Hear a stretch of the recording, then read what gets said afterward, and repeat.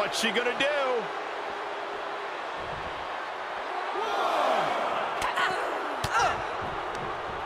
Ooh, she just turned it around.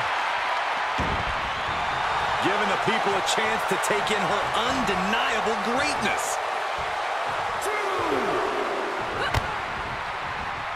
Now look at Becky. Oh, Manhandle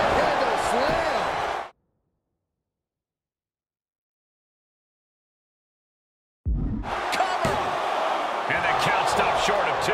Right now, I just don't know what it's going to take.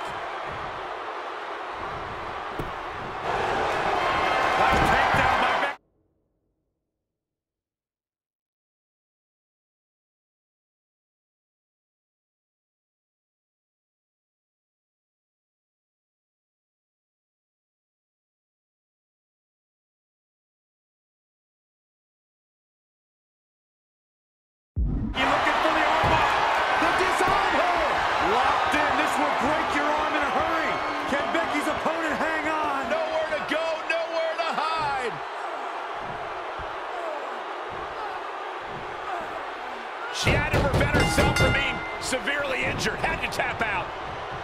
There it is. The champ has fallen.